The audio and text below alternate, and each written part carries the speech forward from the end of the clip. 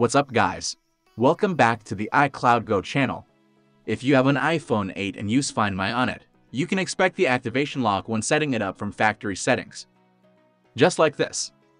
iPhone 8 is quite an old device now, so it's normal if you forgot the credentials. The good news is you can still bypass it easily with the method I'm about to show you in this video, which is using 4Me Key Activation Unlocker. So, let's dive in. There's a link in the description down below. So we open it up on our laptop, and then plug the device in.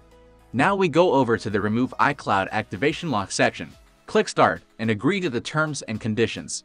As you can see, 4Me Key is downloading the jailbreak tool. Once we got it, plug in an empty USB thumb drive. Then we can go ahead and create a flash drive.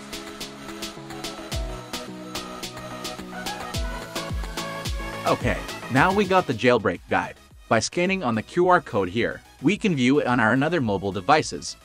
So now we can restart our laptop and go on with the jailbreak. When it boots up, we press the F12 key to enter the boot option. Then navigate to the UEFI thumb drive and boot from there. Seconds later, we'll get the checkgreen jailbreak wizard. It says the iOS is not supported. Let's head into the option. Check off Allow Untested iOS and skip A11 BPR check. Then go ahead and quit back. Now it says the iOS is only partially supported, that's okay. Let's continue. Press next to put it into recovery mode as a precaution.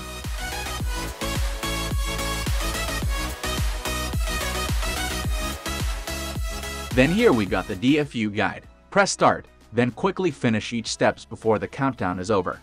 For iPhone 8, is press and hold the side and volume down for 4 seconds. Then release the side and continue holding the volume down for another 10 seconds. Soon as we are in DFU mode, the device will restart, and then we'll see the codes jumping on the screen.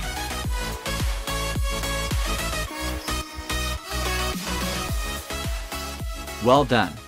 Now let's unplug the pen drive, reboot the laptop, and open 4Me Key to start over. Everything goes exactly the same as before, but this time we'll see the device information, which means we can now actually remove the activation lock. Just go ahead and click on the Start button. Then it'll be done in seconds. Just like this. Let's go ahead and check it out.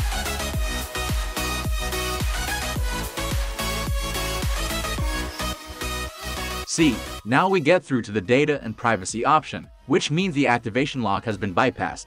We can now go on to the home screen. Bear in mind not to create passcode or touch ID, and skip signing into your Apple ID in this process.